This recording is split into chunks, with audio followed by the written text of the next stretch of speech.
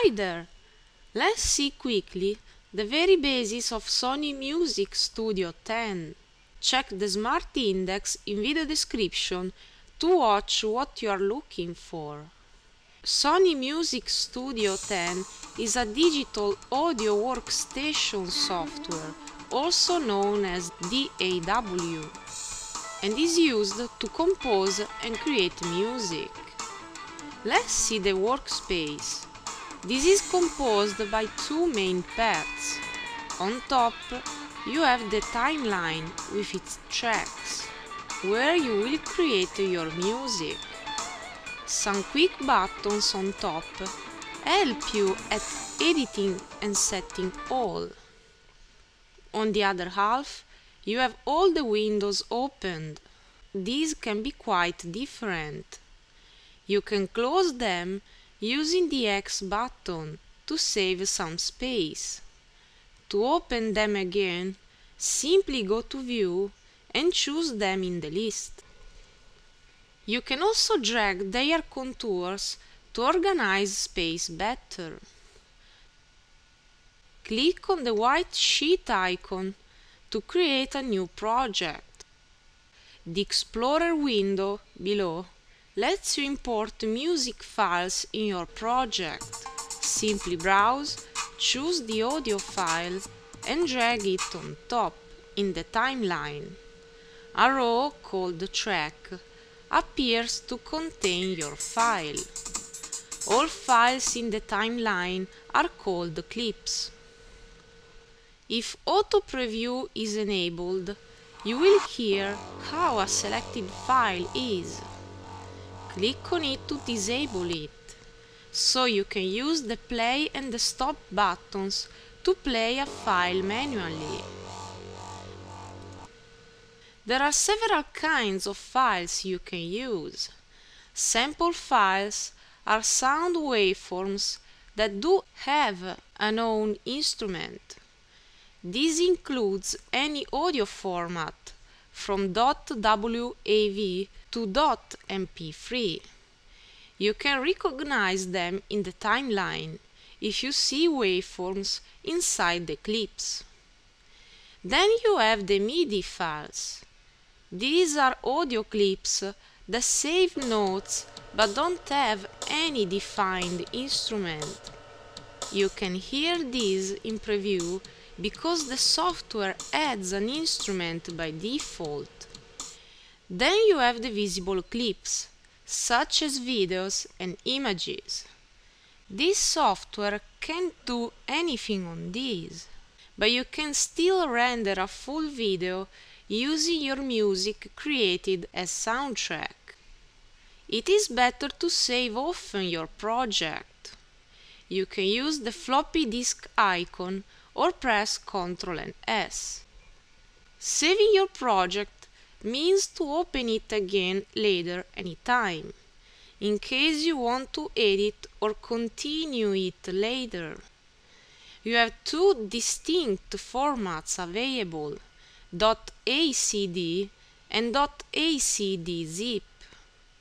It is always better to use the second one. If you use it, you will be able to open your project anywhere without losing links to your source files, since these are saved inside the project itself. Mind that this format is much bigger than the .acd one. Before starting, set some properties on the left. Use the bar to set the beats per minute or BPM which is the playing speed of the project. When your project has clips, you can play and stop it using the player right below. You can use your keyboard to check fast how your project is. Use Enter key to play and stop the player. If you play again, you will go on from the last point.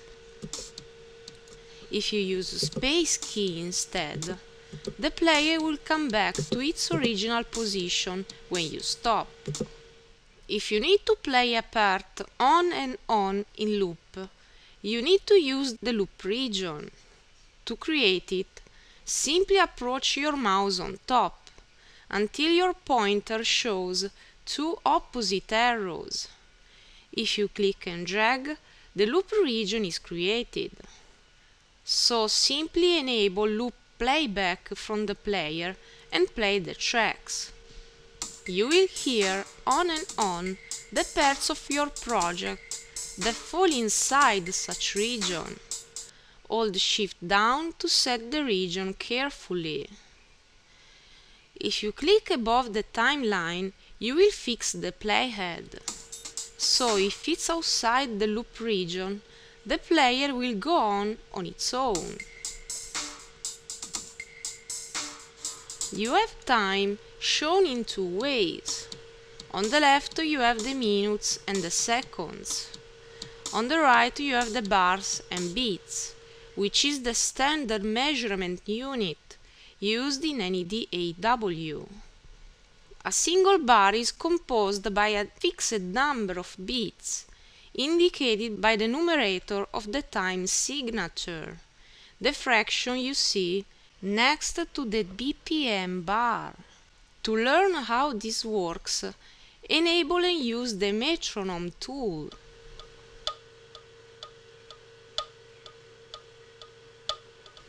Keep in mind that a column in the timeline is a full single bar. The timeline is composed by different tracks, one for each row.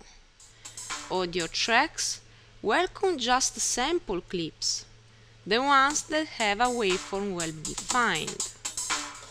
MIDI tracks just welcome MIDI files.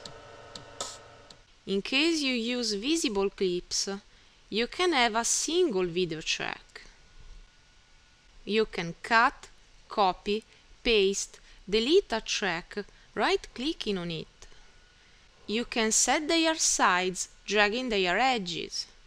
If you expand enough, you find different important bars.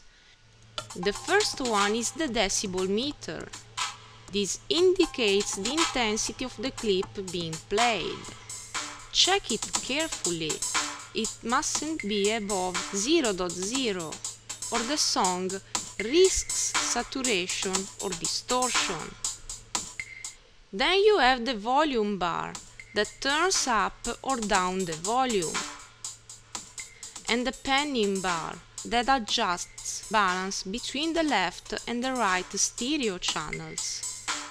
Mind that anything inside here is referred to a unique track and all its clips inside. So, if you increase volume, you will do so just to all the clips inside such track and not on other tracks. You have several buttons in the top right corner, but just two of them are quite important. Mute is used to turn off the whole track to make it silent. Click on it again to turn it on. Solo is just the opposite. It turns off all the other tracks to play just the track interested. Let's see how to edit clips. Above the timeline, you have different tools available. A few are very important. Time selection tool is the best one to organize your clips. Any kind of clip works in the same way. You can drag it to move it in the same track or in another track.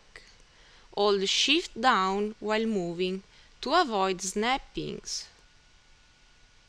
You can cut, copy, paste, delete or even reverse them right clicking on them you can cut a part of a clip using the loop region and then right clicking and go to cut. Just the part that falls inside will be cut. Adjust the zoom with your mouse wheel to be more precise. Approach the edges and drag to stretch or shorten the clip. If you stretch over their natural duration, the clip will be simply looped on and on. A very small marker on the clip indicates where the next loop starts. You can always work more carefully holding shift down while you stretch.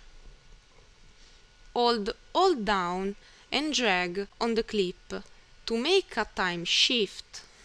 You can create transitions between two clips to pass from the first clip to the second one. Just approach them enough while automatic crossfades is on. You can change the kind of crossfade right clicking on it. Use fade in type to adjust the clip that has to come up, while fade out type for the clip that has to decrease in intensity. You can put a fade to a single clip as well, approaching its upper corners. Use Shift key to avoid snappings to the columns, as always. If you approach the top edge, you will adjust the clip's volume, in particular if you want to decrease it if it's too high. To edit clips more, right-click on them and go to Clip Properties. You may need some more experience to use this. Try it out when you are ready. The second important tool is the Paint tool. With this you can spread a clip looped over and over, holding your click. The clip made will be the one selected on the left, next to the pen bar. Just click on it to select it. The clip will be created starting from where the playhead is, respect to such clip. If you right click, your pointer will become an eraser, deleting all the pieces of clips that fall inside it. Always hold the shift down to be precise. You can also add effects to your clips. Just select a clip and click on the plugin icon. Just browse, select your effect and add it clicking on Add. The more effects you add, the longer the upper chain will be. So when you click on OK, the audio plugin window appears, and so you can edit and modify each effect. Use loop playback to hear the clip on and on meanwhile. What about MIDI clips? They can be edited and ruled as any other clip, but still they don't have a proper waveform or instrument.